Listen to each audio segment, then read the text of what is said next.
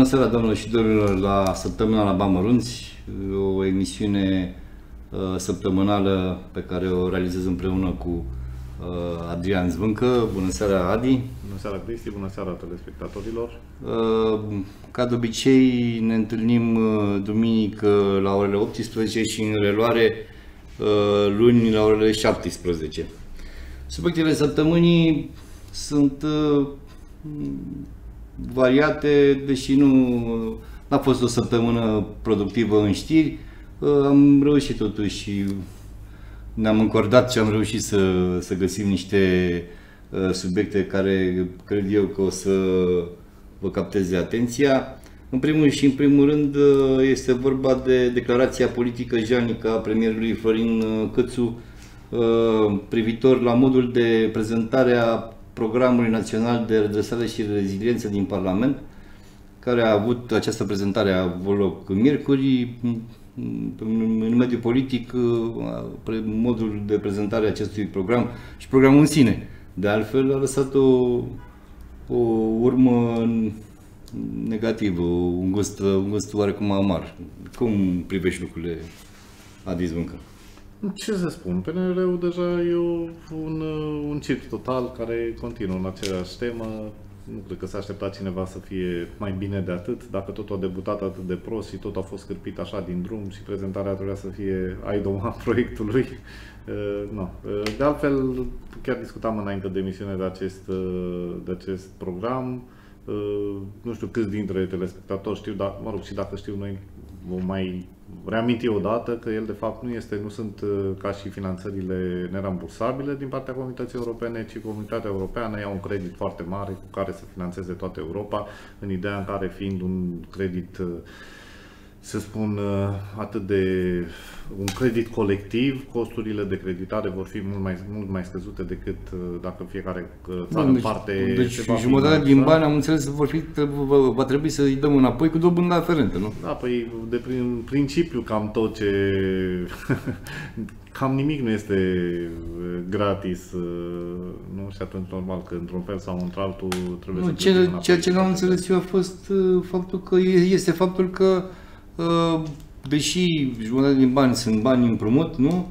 Uh, tot comunitatea europeană ne dictează și ce trebuie să facem noi cu banii ăștia. Adică, până la urmă, îți dau 1000 de lei împrumut, dar să faci ce vreau eu cu ei. Acum trebuie să înțelegem că nici, ce, nici ceilalți bani de la comunitatea europeană nu vin din cer până la urmă. Sunt uh, tot uh, și granturile sau, mă rog, sunt banii Uniunii, până la urmă, banii statelor. La care și România aduce un mare aport. E adevărat că uh, Uh, cât cheltuim noi este mai mult decât aportul pe care îl aducem. Uh, Mari finanțatori ai uh, comunității europene sunt țările dezvoltate, dar totodată și parte din banii care sunt investiți în aceste țări, să zic o economie în creștere, ca să nu zic o economie emergentă, se întorc tot înspre țările dezvoltate pentru că transferul de tehnologie are această direcție. De regulă se face import de tehnologie masiv și indirect este finanțată, să spun, progresul și cercetarea și inovarea din țările civilizate. Deci chiar dacă nu ni se pare că luăm totul sau primim ceva gratis, de fapt nu este gratis și uh, o parte din bani punem noi, iar o parte din bani se întorc în, uh, în, înspre cei care de fapt finanțează acest proiect și poate până la urmă e și logic și normal, uh, noi fiind cei beneficiarii, să spun, uh, aportului tehnologic și aportului informațional și asta ne poate ajuta să avem și noi un anumit progres din anumite puncte de vedere. Bun, da, și pe, dar, și cu PNR este aceeași, aceeași... Uh, dar revin, cele, nevoile, nevoile cele mai mari le știe fiecare, nu...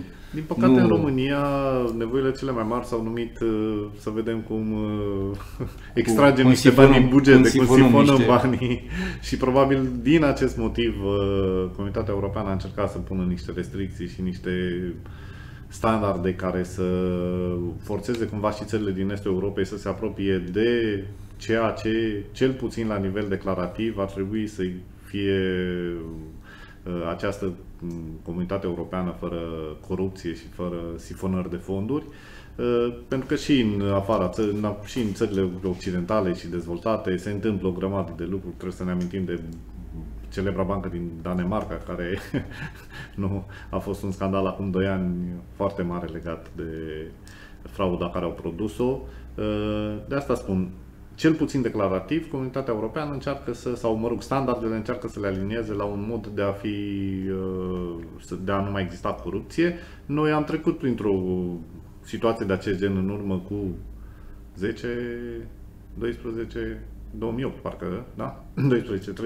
12-13 ani, când s-a finanțat da. România cu 60 de miliarde și mare parte din bani s-au finanțat pe, sau sifonat pe retrocedări. Atunci au fost mm, foarte, foarte mulți bani uh, dați pentru retrocedări fictive și supraevaluate. Ulterior, la 5-6 ani după aceste retrocedări, au început să apară și dosarele penale și să, să se vadă de fapt ce s-a întâmplat cu... Nu cred că e cel mai rău lucru că se pun aceste condiționalități, pentru că aceste condiționalități vor obliga și România să presteze într-un mod mai performant decât prestează în mod normal. De altfel, e știut că sunt foarte... Adică cei mai, cei mai iubiți bani de către administrat, administratorii OAT-urilor, a localităților, nu sunt bani europeni sunt banii care vin de la guvern și banii proprii care pot fi cheltuiți cu să spun, o supraveghere mai restrânsă. Uh, atunci când intervin bani europeni, uh, apar și problemele legate de, urmă, de să zic, de urmărire și acești bani sunt urmăriți și de o comunitatea europeană chiar are un organism, OLAF, care se ocupă de găsirea locurilor unde se sifonează acești bani. Din punctul meu de vedere, cred că e corect așa și trebuie să înțelegem că nimeni nu ne dă nimic degeaba. Este doar un, o mână pe care ne întind cei din Europa să ne tragă un pic mai aproape de ei înspre progresul sau, mă rog, înspre ritmul de progres pe care ei l-au. Sunt curios uh, ce impact uh, până la urmă va avea acest program național de redresare și reziliență, pentru că până la urmă uh, misiunea lui este să stimuleze economia, să stimuleze Uh, crearea de locuri de muncă, de aducerea de plus valoare în, în sistemul economic. Nu... nu știu dacă neapărat crearea locurilor de muncă, cred că mai mult uh, ar, ar, ar duce la o creștere a performanței statului prin digitalizare. Asta e pe de-o parte și o, să spun, o scădere a, sau o creștere a calității vieții prin uh, reducerea uh, să spun, oxelor din aer. Că până la urmă astea sunt două, cele două linii, nu, nu vor avea un impact atât de mare economic cum au ce alte programe operaționale care duc direct înspre anumite sectoare să se dezvolte sau înspre partea de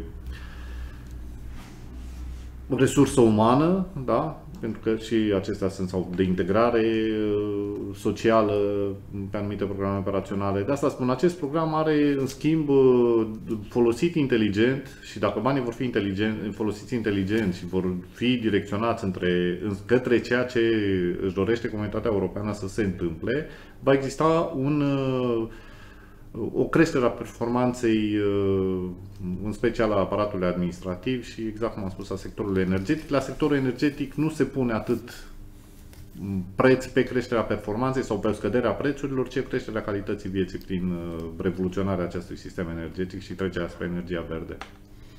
Bun, dar și pentru chestia asta trebuia să luăm bani împrumut ca să facem toate toată povestea asta că Acum nu... e ca la nuntă. Da, ne-am prins în horă, trebuie să jucăm pentru că decizia nu se ia unilateral, nu sunt decizii care se iau de comun acord de către toți uh, membrii comunității europene și... No, că e... Apropo de acordul comun uh, al membrilor comunității europene, uh, uite, mă uitam la Polonia, o știre tot așa de săptămâna asta, în care Polonia a găsit nu știu, nu știu ce strate de de cărbune, de huilă, într-o zonă aflată la, la granița cu Cehia, pe undeva.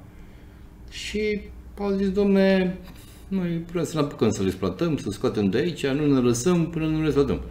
Și ca termen de final de exploatare a acestui strat, 2050, care depășește cum în termenul de 2035, termenul limită de uh, de finalizarea a exploatărilor de cărbune. Ceea ce înseamnă că, până la urmă, dacă un stat dorește neapărat să facă ceva, nu văd ce l-ar împiedica până la urmă. Trebuie să înțelegem că aceste condiționalități sunt oarecum acceptate. Ele sunt negociate și depinde de cât de puternici sunt negociatorii. Ori Polonia în ultimul timp, a sau mă rog, în ultimul timp, în ultimele două decenii a reușit să devină o economie performantă, care aduce o plus valoare destul de mare la nivelul comunității europene, cu, să spun, câteva uh, sectoare strategice în care a reușit nu, să se impună da, de, deși, și atunci deși și la, la, la de și ei, este mult mai mare. Deși la ora actuală și ei absorb uh, mai mulți bani decât, uh, decât donează la comunitatea europeană, da, decât con, contribuie. Este adevărat, dar probabil în scurt timp vor trece de la statutul de stat ajutat la stat care va fi uh, printre economiile care Probabil aduc, da. un, aduc un aduc un Da, surplus. uite, vreau să spun dar, prin... dar nu e neapărat asta cel mai important, pentru că și noi avem un avantaj alături de Polonia, la fel. Fiind pe flancul estic, printre ultimele țări, uh, poziția noastră geostrategică, să spun și din punct de vedere militar, ne-ar putea avantaja în anumite negocieri, dar acolo, de acolo depinde și cine sunt persoanele care negociază și ce aptitudine de negociere au. Pentru că problema este ce am mai discutat și săptămâna trecută. Dacă noi nu încercăm să păstrăm, uh, să spun, uh, un club al oamenilor care au acces și capacitatea să negocieze și aceștia să fie păstrați, indiferent că sunt dintr-un partid sau altul, și să încercăm chiar și relațiile personale pe care aceștia le creează în ani de zile, să le cultivăm și să, să le continuăm uh, și totul merge în stilul românesc, uh, cel care vine și conduce acum premierul sau președintele le capitează pe cel dinainte și îl pune în colț, nu vom reuși să avem un, un o capacitate de negociere extraordinar de mare. Oamenii aceștia până învață să negocieze și care sunt tehnice de negociere, deja și-au sfârșit mandatul și nu reușesc să facă nimic. E de relativ simplă situația. Nu, nu vreau să semnalez decât faptul că la Polonia se poate uh, întâmpla, se, se pot întâmpla lucruri care la noi, la noi nici prin cap nu ne trece că suntem în stare. Polonia a zis, domne, vrei să iei, să vrei să convine bine, nu-ți convine, asta e, oricum îți plătesc până în 2050, indiferent ce face. Polonia și... mai are, uh, să spun, curajul să folosească un cartonaș roșu pe care noi n-am reușit să-l, uh, să-l punem în valoare și să-l, să-l folosim cu atât mai puțin, deși n-am reușit să-l punem în valoare, dar Polonia a reușit să-l, uh, să-l pună în valoare și este faptul că a fost una dintre țările cele mai devastate de război și afectate de uh, Uh, expansiunea Germaniei din timpul celui de-al doilea război mondial. Ori de fiecare dată când uh, aceștia doresc să rezolve o anumită problemă, dacă nu găsesc, o ultimă soluție este să scoată cartonașul roșu și să le spună voi aveți să ne dați niște cheltuieli, niște compensații de război care nu au fost plătite niciodată de Germania către Polonia și atunci tonul Germaniei, care de fapt informal este liderul comunității europene. Orice am vrea să zicem fiind cea mai mare economie și cea care pune cei mai mulți bani, atunci automat tonul Germaniei, pentru că ea se simte vinovată legat de această situație, tonul Germaniei se îndulcește și se caută soluții în așa fel încât să... Uh, no, acum deci... am spus, este o chestie de negociere, depinde de oameni, depinde ce cărți au în mână atunci când negociază și ce pot să pună pe masa negocierilor.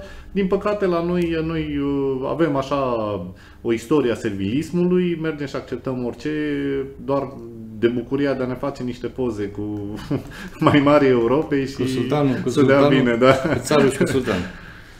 Bun, uh, altă, altă informație, altă știre mm, demnă de luat în considerare este că săptămâna aceasta s-a făcut un sondaj de opinie, uh, un sondaj uh, in scop al uh, societății in scop, unde AUR a depășit USR Plus în sondaje și devine al treilea partid în opțiunile electoratului. Deși tot acum o săptămână sau, sau două PSD-ul era undeva la 36%, în scop îl dă la 30%, ceea ce e ciudat așa între sondajele uh, făcute de anumite societăți de, de sondare. Uh, diferențele sunt foarte mari, dar PSD-ul se menține în continuare pe primul loc cu 30%, 30,6%, urmat de PNL cu 26,3% și surpriza este de la, vine de la AUR, care se situează pe locul uh, al treilea cu 15,3%, urmat de alianța USR Plus cu 14,2. Restul de restul de partide sunt deja sub pragul electoral. Sub pragul electoral. ce să spun, era așteptată această mișcare de creștere pentru că partidele care sunt în opoziție este normal să aibă o anumită creștere. Din punctul meu de vedere, cred că și scorul PNL și scorul USR Plus este puțin corectat pozitiv, la fel cum uh, probabil scorul PSD cel puțin, nu știu de aur, pentru că e un partid destul de proaspăt așa și poate, deși destul de volatil din cauza prospețimii. Imprevizibil. Imprevizibil, da. Uh, poate, dar cel puțin scorul PSD este corectat în mod negativ. Este o practică uzuală a celor care sondează să joace în acea marjă de plus minus 3%, care este o marjă foarte mare, da? și să încerce să, să, să spun, să creezi o, o anumită imagine de marketing uh, momentan, în așa fel încât uh, nu, aceste, aceste sondaje sunt folosite și, cu, și ca pârghie de marketing, ca și pârghie electorală. Realitatea au cunosc tot cei care au sondat, pentru că în general există o diferență între, între ce se sondează efectiv și ceea ce se prezintă. Aș fi curios, Europa FM face un sondaj periodic ar fi, care este independent, nu este politic, nu este făcut de vreun partid sau, mă rog, de vreo asociație care e în siajul vreunui partid. Când va ieși sondajul Europa FM, probabil vom ști mai cu exactitate care e situația. Da. Mm, așteptăm cu interes și alte sondaje, uh, pentru că mm, numai așa putem să, ne, să luăm pulsul cât mai exact asupra ceea ce se întâmplă în ce, ce e de conștiința poporului. Așa, ce e de semnalat, toată, deci în momentul în care Diana Șoșoacă a plecat din, din uh, aur, toată lumea s-a așteptat la o cădere și să se creeze un nou partid, aceasta să rupă o mare masă din uh, votanții aur și să existe cel puțin la nivel de Lucru câteva care procente. Nu s-a întâmplat, Lucru nu s-a întâmplat și din contra aur se pare că crește în continuare. Diana Șoșoacă a devenit o votă, voce singulară, n-a mai reușit să mobilizeze acei oameni și se pare că totuși acest electorat uh, al aur nu este chiar atât uh, influențat de mm, personaje, ci este un electorat care devine din ce în ce mai doctrinar și aplicat pe ideile și pe principiile acestui partid și mai puțin pe agitația care se întâmplă. Acum, e adevărat că și partea de agitație are un anumit rol pentru că e un mod de manifestare a anumitei pături sociale, dar încet, încet oamenii merg înspre zona doctrinară mai mult decât uh, înspre, a, să zic, magnetismul personajelor politice. Um, în această perioadă continuă campania în cadrul PNL, campania pentru uh, președinția Partidului Național Liberal, în care, așa cum știm, cei doi uh, lideri, președintele Camerei Deputaților, care este și președintele actual al partidului în funcție, uh, Ludovic Orban, candidează pentru un nou mandat, iar uh, în, în imediata lui apropiere, uh, Florin Câțu, premierul Florin Câțu, și el dorește să candideze pentru acest uh, post. Taberele deja încep să se adune. Primarul Clujului, Emil Boc, și-a afirmat susținerea pentru Florin Câțu. În județul Hunedoara, de exemplu, organizația PNR Hunedoara îl susține pe Ludovic Orban. Cum cum privești situația din PNL? E ce se, poate, ce se întâmplă în mod normal înaintea alegerilor nedemocratice din interiorul partidelor. Am mai spus, atâta timp cât voturile, cât aceste alegeri se vor face prin reprezentanță, acesta va fi tipul de a alege un conducător, el nu va fi ales, uh, să spun, pe baza pe performanțelor sau capabilităților sale, ci pornind de la zona de imagine, prin uh, tocmel din, de acest gen. Or, or, oricine ar fi, oricare din acești uh, uh, doi candidați vor, va ajunge să fie președintele partidului, va fi șantajabil de cei care au, care au fost susținuți. Da. Da? Asta este clar și va avea o relație proastă cu cei de care nu au fost susținut. Pentru că așa se întâmplă, din păcate, în politica din România. Cât timp alegerile nu vor fi făcute în interiorul partidelor de membrii simpli, de oameni care cred în doctrine, în principii și încearcă să... Nu, nu vom avea un rezultat pozitiv, în politică în general. Asta e părerea mea și nu, nu, nu mi poate schimba nimeni. Totul pornește de la... Cred că libertatea asta de a alege în, partid, în interiorul partidelor politice ar trebui cumva legiferată în alt fel și să există un mod de, cum să spun, de chiar de chiar să-i meargă în sfera penală dacă se întâmplă lucruri de genul ăsta. Da? Pentru că până la urmă faptul că fraudezi niște alegeri în interiorul partidului și propusezi un anumit om în conducerea unui partid care ulterior devine conducătorul unei țări sau conducătorul unui guvern, afectează major economia și cred că ar trebui să intre într-o zonă penală uh, aceste tertipluri și retipluri din interiorul politicii și aranjamente și discuții și tot felul de... Asta e părerea mea, sincer. Bun, uh, până la urmă și eu sunt de, de aceeași părere cu tine, dar uh, cu mențiunea că întotdeauna uh, un plus de șanse îl are președintele în funcție, care Ludovic Orban, părerea mea, care are un, are un, o lungime în fața premierului Cățu, deși premierul Cățu teoretic are în mână uh, finanțele, până la urmă aici, în cazul de față... Cred că, că Câțu va încerca să își fidelizeze cumpărând lider exact cât are nevoie ca să poată, va încerca, nu spun că va reuși, dar va încerca să cumpere suficient de mulți lideri județeni ca să poată asigura un... Nu cred că va candida, părerea mea, dacă nu va fi ferm convins că are șanse de succes. Când își va anunța candidatura, înseamnă că deja și-a cumpărat destui uh, susținători ca să poată candida cu șanse de succes la, la președinția partidului, pentru că dacă va candida fără șanse de succes, din punctul meu de punct, punctul meu de vedere, părerea mea este că Florin că Câțu va deveni istorie în politică în scurt timp. Bine, atât timp cât uh, este prim-ministrul uh, guvernului... Păi nu va mai fi prim-ministru, asta e clar. Pentru că nu va mai avea o susținere cine va fi președinte, probabil îi va retrage susținerea la nivel de, păi, de... Și atunci se va repeta istoria PSD-ului cu moțiuni de cenzură împotriva... Cu siguranță, cu siguranță. Dacă, dacă, Ludo, dacă uh, Câțu nu va candida, da, și va rămâne premier, va avea șanse să rămâne premier în continuare într-un tandem cu, cu Orban. Dar dacă va candida împotriva lui Orban, uh, nu cred că după, dacă va candida și va pierde, va mai rămâne premier. Este clar. Pentru că este clar că PNL-ul se va poziționa uh, în, în susținerea lui Orban, iar Orban nu va.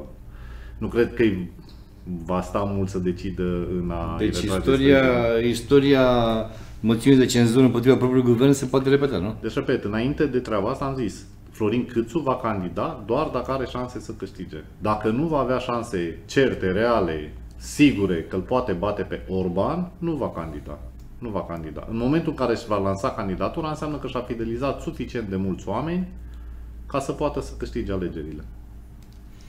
Da, și eu sunt curios.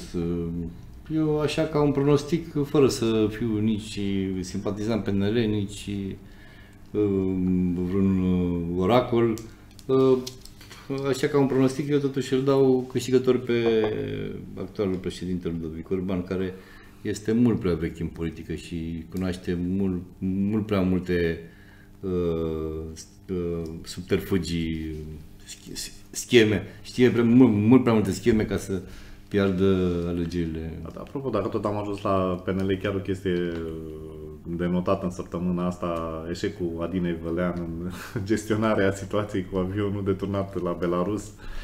Surprinzător, eu, deci Adina Vălean a fost, a fost în decursul anului chiar un beneficiar așa...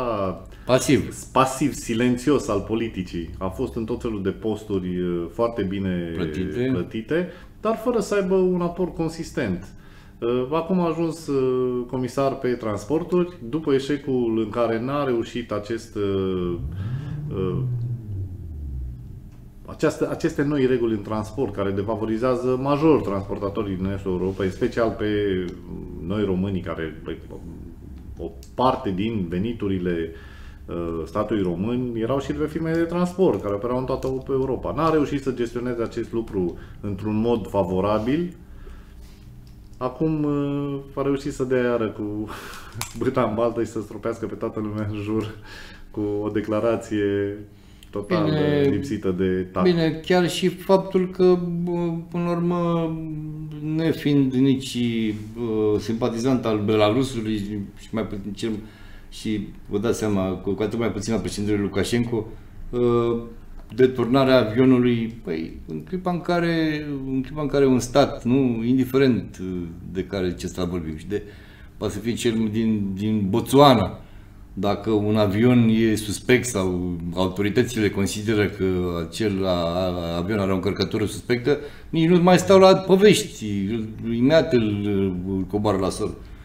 Lucru care aici, în cazul nostru, a stârnit o prea, nu știu, a, a, a fost un prea mare val de, de comentarii. Legația din Avălean este, să spun așa, tot un obicei al politicianului român ca de fiecare dată când se întâmplă un eveniment să ai și o poziție. Dacă ar fi tăcut și ar fi încercat să gestioneze pe silent această situație, ar fi fost mult mai câștigată sigur dacă da, situația era gestionată într-un Absolut. mod corect. Absolut. Și atunci, probabil oamenii, sau mă rog, politicienii sau cei care erau conectați la subiect ar fi văzut realizările din Vălean. Dar Absolut. ea, nefăcând nimic, ar încerca să se poziționeze într-un mod favorabil, din păcate făcând o gafă. Și da, ăsta e un obicei, vedem și la nivelul mai mic al politicii românești, orice lucru se întâmplă, fie că are legătură sau nu are legătură cu persoana respectivă, politicianul apare și își dă cu pumnii în piept, domnule, vedeți, sunt și eu aici, se, se, se datorează acest lucru și faptului că acești oameni sunt contemporani cu mine, deși este singurul lucru, singurul aport, uh, faptul că trăiesc în același da. loc și în aceeași perioadă. Rămânând în același registru al PNL, uite că PNL-ul este beneficiarul emisiunii noastre de astăzi, uh, Ludovic Cărban consideră că USR este uh, un adversar politic în unele județe din România. Cum, cum vezi acest lucru? Cum vezi acest, această constatare a lui Orban? Nu văd de ce cred acest lucru. Adică nu este un adversar politic. Este pentru că USR-ul reprezintă o nouă generație, un nou tip de electorat. Da? Și normal că la un anumit moment ar, va exista, tot, toate celelalte partide sunt adversarii tăi politici în orice luptă electorală. E logic. Dar nu cred că PNL-ul a reușit vreodată să mai convingă acest tip de electorat care votează USR-ul, exact cum există un nou tip de electorat, deși el a fost cumva metamorfozat uh, cel al aur. Uh, e greu să-i, să-i convin să meargă spre partidele tradiționale și nu pot fi convinși datorită faptului că în aceste partide tradiționale s-au refugiat toți dinozaurii politici ai ultimilor 30 de ani, da? care, hai să nu uităm, Petre Roman a fost în PD, a fost cumva asociat lui Ion Iliescu, a trecut prin PD, a ajuns la PNL, nu? Exemplele pot să fie nenumărate, că le știm în toate părțile. Ori toți acești dinozauri politici aduc această acest stigmat asupra partidelor tradiționale. Uh, ce au reușit USR? Uh, au reușit să cumva să meargă pe un număr de oameni noi, dar cum am spus și asta este un dezavantaj pentru că acești oameni nu au expertiză în toate zonele politice și este destul de greu să fii la guvernare și să guvernezi doar cu oameni care au avut alt tip de activități și n-au reușit să aibă o creștere da, în uh, o evoluție în păi- crescătoare și creșterea a fost abruptă. Da? Ai luat un om și l-ai pus ministru. Păi este, este de regulă, în partide tradiționale, acești oameni care ajung miniștri înainte au o anumită expertiză în interiorul ministerului respective. Că încep ca consilier ai miniștrilor, că încep ca secretar de stat sau director prin ministere, dar se acomodează un pic cu problematica, cu tematica, cu politicile, cu ce trebuie să facă ministerul, cu așteptările care sunt de la ei. Oricând e un om care pur și simplu, chiar dacă a lucrat în domeniul respectiv, îl iei din domeniul respectiv de la bază și îl pui în vârf, diferența asta de cunoștințe va duce spre reboot. Păi despre asta și um, vreau să precizez și eu niște, niște aspecte. Um, schimbările politice avute, care au avut loc în România în ultimii 30 de ani, uh, când s-a schimbat un guvern, un guvern cu alt guvern sau un partid cu alt partid la guvernare, mă rog, stânga cu dreapta sau alianțe, uh, au schimbat până de la director, de la ministru până la femeia de servici. Adică, practic, oameni care au avut o expertiză, care au acumulat o experiență în, în timp, care oameni care aveau totuși o, ceva de spus și care performau sau au performat în, în domeniul respectiv, au fost schimbați din, din punct de vedere politic, în urma unui algoritm politic, în urma unor, unor știu eu, înțelegeri pe sumasă, da? fapt care a dăunat până la urmă, nu performanțelor economice ale, ale României și a implicit a poporului român. Practic s-a, s-a pierdut, s-au pierdut niște oameni pe traseu, pe parcursul timpului, s-au pierdut niște oameni care, sigur, ar fi avut un cuvânt greu de spus și un cuvânt benefic și o, o, o influență benefică asupra activității în domeniul respectiv. Asta spun, uh, nu știu cum se întâmplă în alte state, pentru că chiar, chiar aș fi curios să știu, de exemplu, în America, când a plecat, a plecat acum administrația Trump, a venit administrația Biden, până la ce nivel s-au schimbat uh, oamenii acolo în, în structura respectivă. Că la noi, dacă, dacă nu ai carnet de partid de nu știu ce culoare, nu, și nici femeia de servici, nici femeia de servici nu, nu rezistă în funcție. Eh, la noi avantajul e că oamenii schimbă cartidele, part, carnete de partid cu foarte mare ușurință. Da, nu da, bun, asta pe de parte și pe de altă parte da. și criteriul competenței. Aici da. la, noi, la noi uh, se angajează pe clientelă politică, pe, nu pe performanțe, pe clientelă politică, pe rudenii, pe combinații de tot felul. Uite, deși nu sunt multe lucruri de uh, lăudat la USR, Aș mai spune un lucru care, din punctul meu de vedere, ar trebui, sau demne laudă. Modul cum a organizat uh, alegerea președinților, președinților de case de asigurări de sănătate. Da? Unde s-a arătat că, de fapt, aceste numire politice, pentru că toți erau numiți pe mandat, da? de către probabil Ministrul Sănătății, cred că el sau președintele Casei Naționale de Asigurări de Sănătate, nu știu exact cine dă mandat, toți erau pe mandat, deci erau numiți politic, fără niciun concurs. În momentul în care s-a organizat concursul, concursul a fost extrem de strict și drastic și a arătat incapacitatea acestor oameni. Din uh, cât s-au prezentat, dacă ții minte, 5 sau 6 au luat concursul, da? nu cu rezultate extraordinare, trebuia să depășească uh, nota 7, probabil, 7, notă da. cumulată.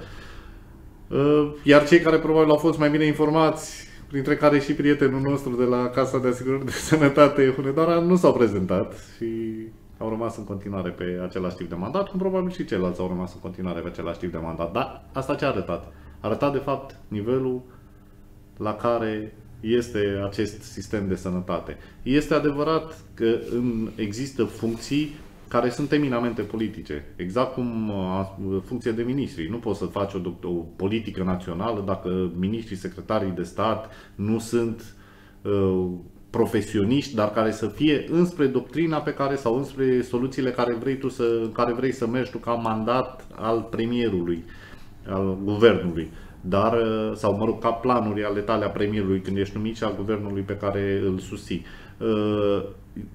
Uh, pot să meargă până la un nivel, dar asta nu înseamnă că oamenii din ministere care de fapt duc munca grea trebuie schimbați și înlocuiți cu alții care nu știu ce au de făcut. Pentru că ministerul nu înseamnă doar politică și doar imagine și doar comunicare și doar strategie, există și o parte birocratică și o grămadă de oameni care trebuie să facă statistici și să muncească și alte lucruri. Da, și eu, eu personal sunt de acord cu reformarea clasei politice. Da? Uh, partidele, vechile partide tradiționale din România și-au dat uh, examenul și ne-au demonstrat uh, uh, limitele lor și felul cum, uh, cum privesc lucrurile, lucru care mă, pe mine personal mă nemulțumește. În schimb, să ne mulțumim și de ce vine din urmă de partidele nou uh, create de USR Plus și AUR. Nici aceste partide nu mă mulțumesc pe mine personal nici ca și doctrină, nici ca și uh, fel de stil de a aborda lucrurile. Mi se pare niște partide extremiste, ușor, ușor extremiste, cu o manifestare din asta isterică de, care induce în populație o stare negativă. Deci clar, din eu acum, din, din actuala, din actualul eșichel politic, partide noi și partide vechi, chiar niciunul nu mă mulțumește și nu m-aș regăsi, eu nu sunt membru la niciun partid, dar nu m-aș regăsi la, la niciunul dintre acestea. Uh, bun, altă, altă știre interesantă din această săptămână este că uh, au și ei corupților. Fondatoarea uh, Black Lives Matter, uh, Patrice Cullors, uh, a demisionat din funcția de președinte al acestei fundații, fiind acuzată că și-a cumpărat o proprietate de 1,4 milioane de dolari după ce a strâns 90 de milioane de dolari pe fondul mișcărilor antirasiste în urma uciderii lui George Floyd în America, da? ceea ce înseamnă că și ei sunt oameni și până la urmă corupția ucide și în America. Acum, corupția Black... ucide și în America, nu numai în România. Black lives matters, but not too much. Exact, exact. Exact, au o limită exact. cât... Deci, și acum stăteam și mă gândeam în extensul, citind această știre, mă gândeam în extensul la tot felul de fundații care sunt și pe la noi uh, prin, prin România, că nu le mai dau numele, că are rost să ne luăm acum cu ei uh, într-o, să, să creăm o dispută cu aceste fundații, dar nu le, ne dându-le numele, și în România activează o mulțime de fundații străine cu filiale în România, care Uh, care, părerea mea că sunt mai mult niște agenturi străine de informații și de uh, care au cu totul și cu totul altă menire decât uh, a crea o, o, o stare de bine în România.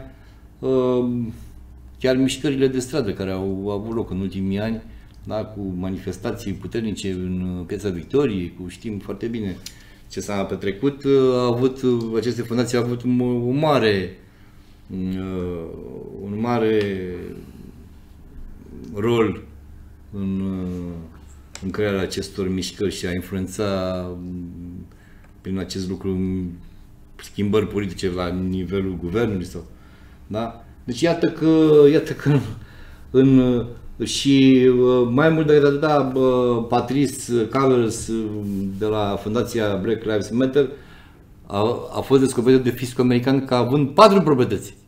Deci, practic... Uh, Acum, nu știu dacă chiar e cea care a pornit mișcarea sau e președinta Nu, este președinta unei fundații, da, mă rog. Fundații, da. Acum nu care a beneficiat de niște fonduri. Am, am, eu... o, o subscripție, oamenii au donat la această fundație. Da. Uh da, e regretabil. Acum, legat de ONG-uri, ONG-urile este clar că sunt niște pârghii și am să dau un exemplu ca să, ca să spun de ce. Nu toate trebuie văzut, văzute, probabil există ca peste tot și ONG-uri care joacă corect, dar marile ONG-uri joacă foarte mult uh, politica anumitor corporații și anumitor state. Și o să-ți dau un exemplu care e foarte cunoscut. De hidrocentrala de pe Jiu, da? Care s-ar încadra perfect în politicile europene de producția energiei verde. Mai verde decât să produce energie din apă, nu cred că nici eolian și nici uh, fotovoltaic nu este mai benefic. Mai, mai, da. Părerea mea. Da? Pentru că și eolian Bun. sunt partea unde, da, unde migrează păsările, se strică habitatul Bine, și păsărilor. Apa. Și apa, se... uite, ca să, ca să tot ai deschis subiectul, ca să se creeze uh, hidrocentrala poziție de fier 1, S-a, a trebuit să se inunde insula de Cale, dacă îți spune ceva numele ăsta. Da, bineînțeles. O insula da. de da, Cale, care e da. monument istoric, da. plină de moschei, de, de tot felul de da, de patrimoniu. Da. Sunt într-adevăr, sunt, și... sunt într-adevăr costuri, dar aici nu, eu nu vreau să merg în zona asta de Plus care și colmatarea, și colmatarea acestor hidrocentrale care în timp uh, Mă rog, există plusuri și minusuri în orice... Hai să, hai să revenim la ce spun eu. Da? Deci Greenpeace, pe de-o parte, este un mare luptător, pentru că nu e, o, nu e o fundație de alt gen, nu se ocupă de protecția animalelor. Da? Tocmai de această zonă de să spun, decontaminarea planetei se ocupă acest Greenpeace. Da? da? Deci, pe de o parte, blochezi un proiect care ar duce, să zic, la mai multă energie verde, în contrabalans cu scăderea energiei, uh, să spun, care generează poluare, da? blochezi acest proiect pentru că niște, mă rog, viperele nu aveau de unde să mai bea apă. Dar, de fapt, interesul mergea în cu totul altă zonă. De asta spun. Ei, exact cum ai spus, sunt uh, cumva manevrabili și avantajul cel mai mare că sunt și finanțați, sau mă rog, avantajul cel mai mare pentru cei care îi manevrează este că sunt și finanțați de stat. Pentru că banii, mare măsură pe care îi primesc aceste ONG-uri, sunt bani publici sau, mă rog, uh, bani uh, lăsați cumva așa la dispoziția lor uh, de către statul român. Pentru că ei sunt finanțați din corporații, le se de impozitul pe profit o anumită sumă care poate fi uh, poate să meargă către ONG-uri. De asta e, uh, no, până la urmă e clar că și zona de ONG-uri este o zonă de business, vrem nu vrem, trebuie să privim ca atare și că oamenii de acolo vor încerca să... Din păcate, o zonă de business, da, asta, fundația. Fundația trebuie să fie ceva non-profit, ceva... Da, și să aibă un obiectiv foarte clar. Un obiectiv foarte clar și un obiectiv da. din ăsta, non-profit, adică, da. Da, cum este și... Uh, bine, este non-profit din punct de vedere financiar, da, este din punct de vedere contabil, este non-profit, dar de fapt este în profitul anumitor da, da, da, beneficiari da, da cum uh, este și cazul uh, Patricei Calrăs, uh, fosta lideră acestei.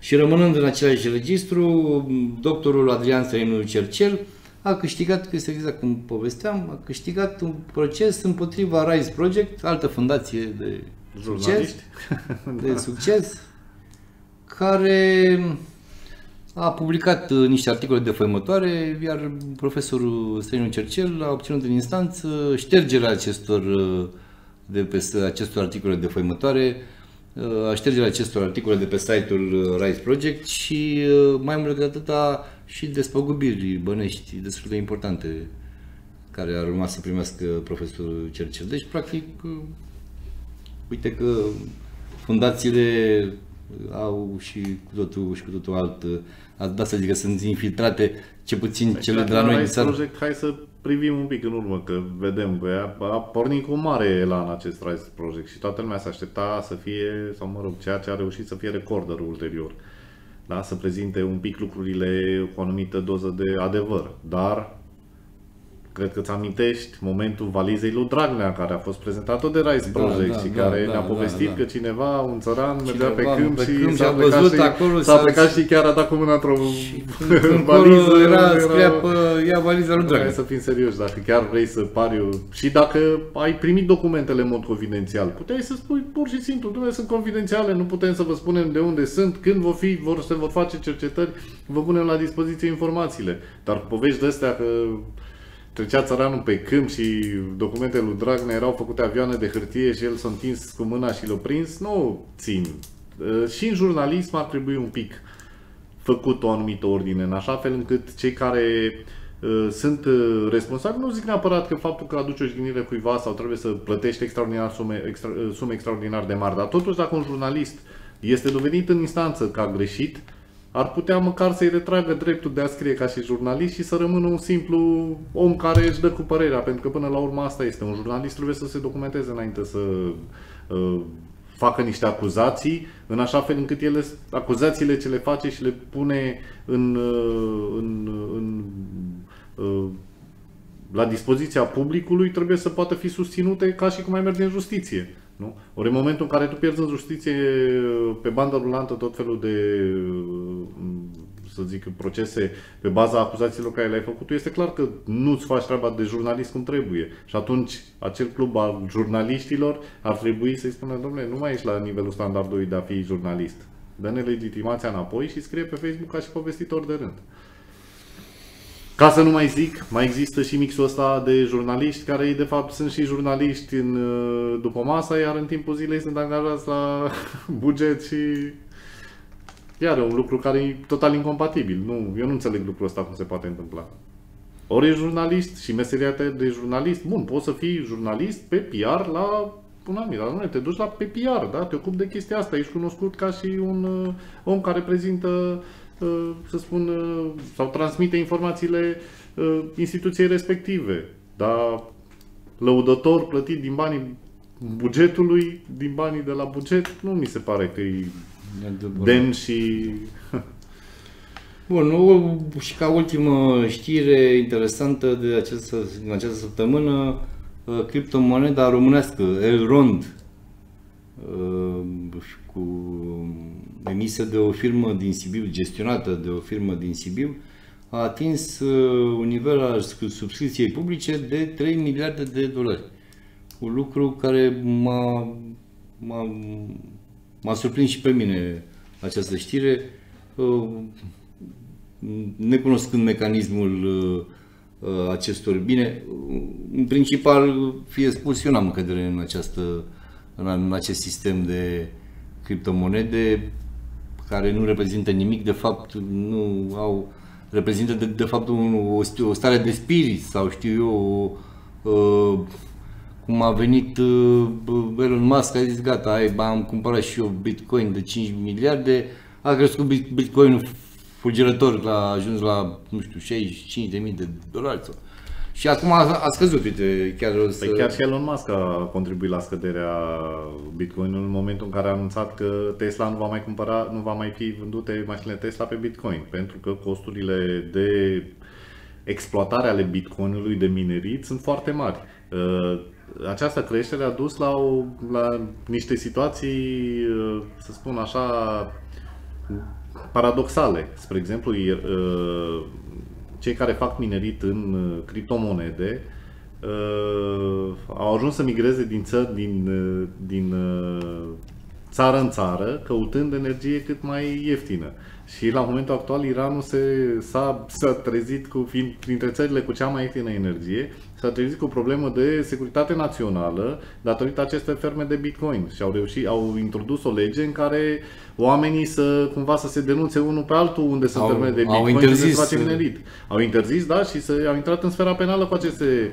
Ori această monedă, ca, să ajung până la sfârșit cu povestea. Această monedă românească, de ce a devenit atractivă și oarecum a avut așa o creștere fulminantă?